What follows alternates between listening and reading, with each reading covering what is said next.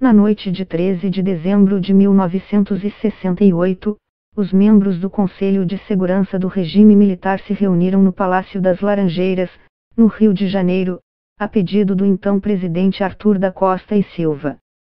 Entre os presentes estava o vice-presidente da República, o civil mineiro Pedro Aleixo. Aleixo não tinha virado vice-presidente por acaso apoiar o golpe contra João Goulart quatro anos antes, assim como fizeram outros civis da elite política e econômica do país. No entanto, sabia o que o ato representaria e, naquela noite, votou contra sua decretação. Foi o único dos 23 membros do conselho a fazê-lo? No ano seguinte, quando deveria assumir o lugar de Costa e Silva, que havia morrido, foi impedido de tomar posse pelas Forças Armadas. Não voltou mais à política também entrou para o folclore da história política do Brasil porque teria dito, quando lhe foi perguntado se não confiava em Costa Silva, que, sim, confiava muitíssimo, mas temia pelo efeito que o AI-5 teria no comportamento do guarda da esquina. Não há registros que provem que a declaração aconteceu, mas sua filha e amigos dizem que sim. A frase vem sendo lembrada em discussões sobre como o discurso político de um chefe do executivo pode impactar seus subordinados na outra ponta da hierarquia. Especialistas opinam que a crescente violência policial e o desmatamento ilegal estão ligados a posicionamentos agressivos do presidente Jair Bolsonaro e outros políticos, como o governador do Rio de Janeiro, Wilson Witzel. Aleixo era um respeitado bacharel, professor e político de carreira, fundador e diretor do jornal Estado de Minas. O mineiro fazia parte da ala dos liberais que apoiaram o golpe de 1964, mas mais tarde se afastaram. No livro A Ditadura Envergonhada, o autor, o jornalista Elio Gaspar escreve que Aleixo era conhecido por sua retidão e tibieza. Como descreve o professor de História da Universidade de São Paulo Marcos Napolitano, Havia vários matizes de liberalismo no grupo do qual Aleixo fazia parte, desde liberais que poderiam ser considerados moderados, que aceitavam reformas sociais modernizantes, mas eram anticomunistas, até liberais de tradição francamente oligárquica, tipopolistas e reformistas. Além disso, diz ele, havia liberais estritamente economicistas, que professavam a fé na economia de mercado e na propriedade privada, mas eram politicamente conservadores e autoritários quando se tratava de defender a ordem social tradicional, supostamente ameaçada. Aleixo era da ala do liberalismo conservador brasileiro, diz o professor. Este tipo de liberalismo poderia ser descrito como restrito à defesa de normas jurídicas formais na organização do Estado e à defesa intransigente da propriedade privada, mas socialmente elitista e politicamente conservador, flertando com o autoritarismo em momentos de crise social e política. A trajetória aparentemente contraditória de Pedro Aleixo se conecta às contradições deste tipo de liberalismo, muito comum na América Latina, mas sobretudo uma marca da política brasileira. O professor de História da Universidade Federal de Minas Gerais Rodrigo Pato Samota os descreve assim, ele pertencia à ala de figuras que aceitaram o golpe, mas ao mesmo tempo não desejavam uma ditadura sem limites. Era uma espécie de liberalismo autoritário, a favor da repressão à esquerda, mas que desejava garantias para a opinião política moderada. Havia outros como ele, a exemplo de Milton Campos e Luiz Viana Filho, que se sentiram desconfortáveis em relação ao AI-5, mas ao mesmo tempo eram a favor da intervenção em 1964. Para o professor do Departamento de Ciências Sociais da Universidade Federal de São Carlos João Roberto Martins Filho, os membros desse grupo tinham a ilusão de que o governo militar seria transitório. Uma vez que ele não foi, ficaram paralisados, diz Martins Filho. Segundo o professor, em memórias escritas posteriormente, esses políticos tentaram justificar suas posições dizendo que tinham um compromisso com os presidentes. Os presidentes diziam que falavam em nome da democracia, que entregariam o poder. É uma contradição, mas ninguém ali dizia sou contra a democracia. Eles se definiam como um regime autoritário que defendia a democracia. Até o AI-5, no entanto, Aleixo foi parte importante do golpe e da sustentação do governo. Como líder da oposição a João Goulart na Câmara, participou ativamente das articulações entre civis e militares pela derrubada do então presidente, que a justificavam dizendo que a Constituição estava sob ameaça das propostas socialistas do governo. O jornalista Jesus Chediak, que dirigiu um documentário sobre Aleixo exibido no canal Brasil, Parto para a Liberdade, diz que Aleixo era um liberal absolutamente coerente. Ele realmente acreditava que haveria um golpe da esquerda. Hoje sabemos que não era nada disso, mas ele achava que sim, diz ele, que hoje atua como curador na Secretaria de Cultura do Estado do Rio.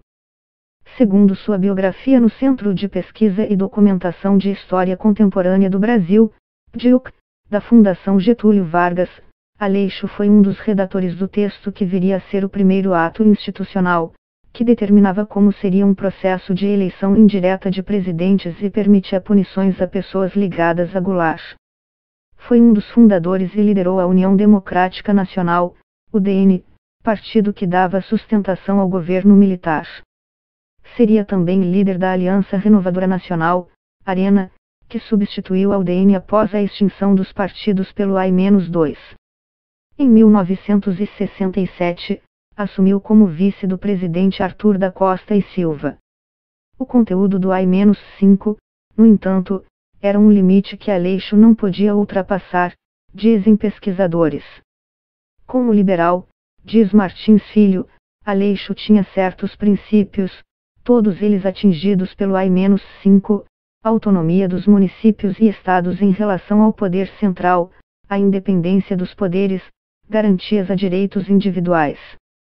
Esses princípios, diz o professor, já haviam sido atacados, mas havia sobrado algo, principalmente o habeas corpus, que protege cidadãos de abuso de autoridade. O AI-5 permite a intervenção em estados e municípios, cassações, que se afaste ministros do Supremo Tribunal Federal, o fim do habeas corpus. Não precisava de muito para perceber que essas coisas acabavam com o que sobrava de liberalismo no Brasil. O Pedro Aleixo se recusou, diz Martins Filho. Defendia simultaneamente o regime constitucional e sua biografia, escreve Gaspari no primeiro livro de sua série sobre a ditadura. Mais esta que aquele, conclui o jornalista.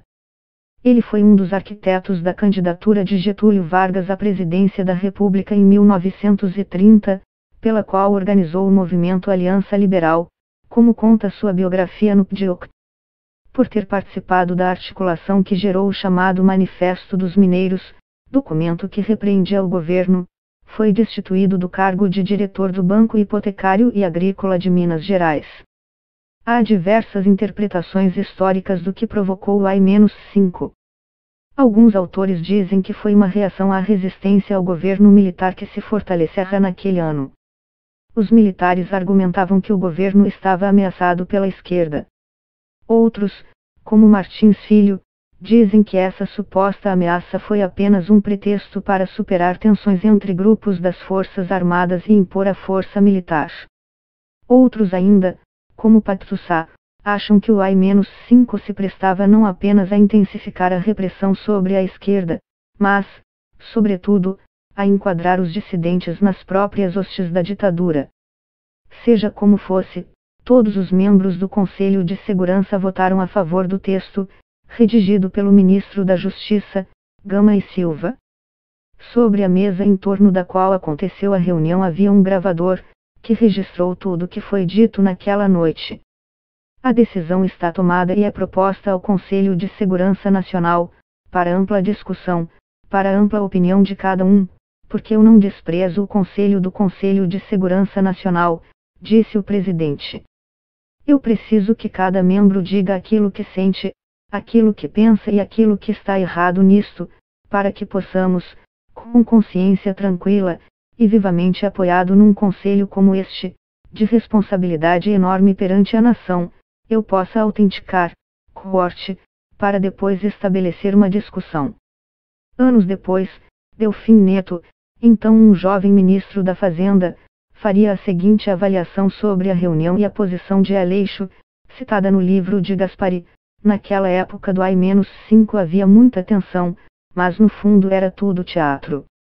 Havia as passeatas, havia descontentamento militar, mas havia sobretudo teatro. Era um teatro para levar ao ato. Aquela reunião foi pura ensinação. O Costa e Silva de bobo não tinha nada. Ele sabia a posição do Pedro Aleixo e sabia que ela era inócua. Ele era muito esperto. Toda vez que ia fazer uma coisa dura chamava o Pedro Aleixo para se aconselhar e, depois, fazia o que queria.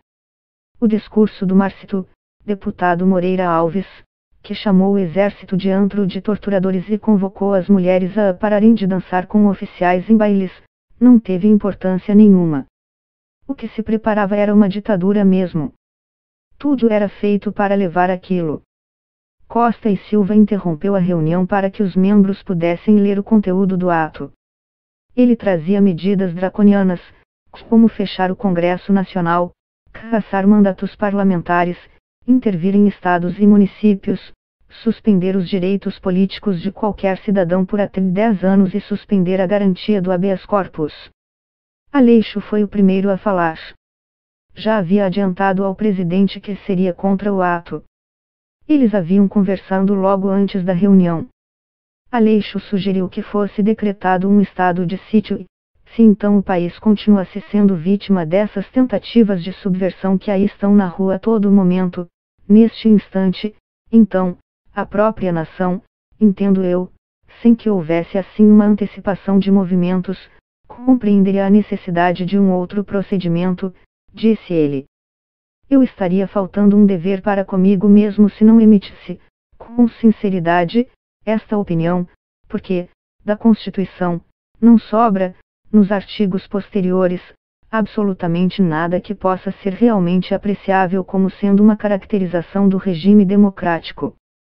Pelo ato institucional, o que me parece, é que estamos, instituindo um processo equivalente a uma própria ditadura. A votação seguiu. Outros cinco ministros fizeram ressalvas ao ato, mas o aprovaram. Todos os demais o apoiaram sem qualquer ressalva. Ao final, o ministro da Justiça Luiz Antônio da Gama e Silva deixou a sala e anunciou o ato à imprensa, que já os esperava do lado de fora. Quando as portas da sala se abriram, era noite. Duraria dez anos e dezoito dias, escreve o jornalista Elio Gaspari no livro A Ditadura Envergonhada. A ideia de que a ditadura brasileira foi civil-militar é interessante porque mostra quanto de apoio havia na sociedade ao regime, mas quem mandava mesmo eram os militares, diz Martins Filho. Prova disso, opina, é o que aconteceu com Aleixo em seguida. Nos meses seguintes, segundo sua biografia no PDIOC, Aleixo atuou pela reabertura do Congresso e pela formulação de uma nova Constituição que retiraria os aspectos mais autoritários do regime tinha, segundo o texto, o apoio de Costa e Silva nessa empreitada. Mas durante as negociações, o presidente adoeceu, e a proposta naufragou. O texto do PDIOC conta que Aleixo ouviu dos militares que, por ter sido contrário à edição do AI-5, não teria força para vencer a resistência militar ao programa mais ameno proposto pela dupla. Depois que Costa e Silva morreu, deveria ser Aleixo a assumir, mas uma junta militar o impediu e o substituiu na presidência. Aleixo então deixou a política e voltou a dar aulas. Segundo o em 1970, ele se desvinculou do Arena. Nos anos seguintes, tentou, sem sucesso, registrar um novo partido, o Partido Democrático Republicano, PDR, que, na visão dele, acabaria com o bipartidarismo e defenderia a democracia. Essa era, na visão de Aleixo, a intenção do golpe que ele chamava de Revolução de 1964. Em 2011, uma lei retornou seu nome ao rol de presidentes da República. O autor do projeto, o deputado Eduardo Azeredo, PSDB-MG, argumentou que Aleixo lutou pelo retorno da democracia. Ele trabalhou pelo fim do período militar e pela restauração da normalidade institucional foi contra o AI-5 e a favor da reabertura do Congresso Nacional e da promulgação da Emenda 1, Constituição de 1969, disse Azeredo. Um irmão de Aleixo, Alberto, morreu em 1975 em decorrência da tortura, prática que marcou o período após o AI-5. Segundo o livro Farol Alto sobre as Diretas, 1969-1984, do jornalista Paulo Marcum, Alberto trabalhava desde 1966 na produção e distribuição do jornal Voz Operária. Em 1975, o governo militar estourou a sua e outra gráfica, em São Paulo, e prendeu pessoas que trabalhavam nelas, entre elas, Alberto, então com 72 anos. Em março daria entrada no Hospital Souza Aguiar, no Rio, magro, desidratado, sem exonerar o intestino há quatro dias, com sangramento hemorroidário. Morreria meses depois. Sua história só foi revelada em 1995, quando o grupo Tortura Nunca Mais RJ descobriu, no Arquivo Público do Rio de Janeiro, dados sobre mais duas pessoas desaparecidas, Alberto e o escultor Vitor Carlos Ramos, desaparecido desde 1974 quando tinha 26 anos. Pedro Aleixo já havia morrido, no dia 3 de março, quando seu irmão faleceu. Não se sabe que tipo de contato ou relação os dois tinham. A filha de Pedro, Heloísa, hoje com 92 anos, afirma que nunca chegou a conhecer o tio. Heloísa diz que, depois que Aleixo deixou o governo, em 1969, não falou mais sobre política com ela. Ele acreditava realmente que sua presença entre os militares seria moderadora. Mas acho que não se arrependeu. Se arrependeria se tivesse agido contra seus princípios, mas foi coerente, diz ela. Outros liberais, mais doutrinários e fiéis à tradição das liberdades civis e individuais, se afastaram ideologicamente do regime militar, mas não chegaram a romper completamente com os militares, pois, grosso modo, apoiavam a luta contra a guerrilha de esquerda, que atuava no início dos anos 1970, e a política econômica do regime durante o milagre, 1968-1973, diz ele. Acredito que o rompimento liberal mais efetivo com a ditadura ocorrerá somente a partir de 1974, e se dará por ondas sucessivas. Naquele contexto, início do governo Geisel, a política econômica centralizadora e estatizante desagradava parte do empresariado e a guerrilha já estava derrotada, não havendo justificativa para a suspensão dos direitos civis e a manutenção do AI-5. Além disso, a censura à imprensa criou um cisma incontornável com muitas vozes liberais. Pesquisadores avaliam que a história de Aleixo traz reflexões válidas para o momento. A trajetória contraditória deste liberalismo que não hesita em apoiar golpes de Estado, soluções autoritárias contra adversários políticos e violência de Estado no controle social deveria ser objeto de reflexão das elites políticas brasileiras, diz. Uma parte destas elites até tem rejeitado soluções autoritárias e manobras jurídicas, como os atos institucionais do regime militar. Mas, por outro lado, o flerte e o apoio a políticos e grupos francamente autoritários, em nome do combate à esquerda, não foi plenamente assimilado. Muitos que se dizem liberais, no Brasil, ainda têm medo da democracia plena, e continuam alimentando as cobras no quintal que futuramente irão picá-los. Para Martins Filho, uma lição que pode ficar, e acho que ela de certa forma foi aprendida pela sociedade, é que remover os direitos constitucionais baseado em alguma ameaça imaginária ou real é uma situação que pode levar a um caminho sem retorno porque uma vez que você suspende essas garantias você pode demorar muito tempo até conseguir voltar à democracia. O risco seria de novo entrar num túnel ditatorial, diz o pesquisador.